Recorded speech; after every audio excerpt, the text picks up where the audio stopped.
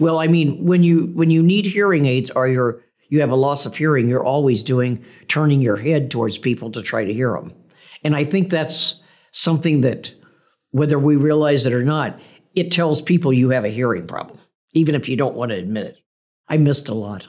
Probably things I don't even know that I missed. So yeah, it's it's stubbornness. It's like I, I don't have time to do it. It's a lot of things, but it is kind of hard to make yourself go get that hearing those hearing aids too, because I'm 74, and it's just another step towards the other side. You know, so it's kind of like you know, okay, I'm 74, and I'm just now getting hearing aids. Everybody be proud of me. You know, well, I needed them eight years ago, but that doesn't matter. You know, so yeah, it's. Um, I wish I would have done it sooner. Yeah. And you still have problems. I mean, you still don't hear everything because you have a hearing problem. You know, they can't make them perfect for you, but it can sure make your life better.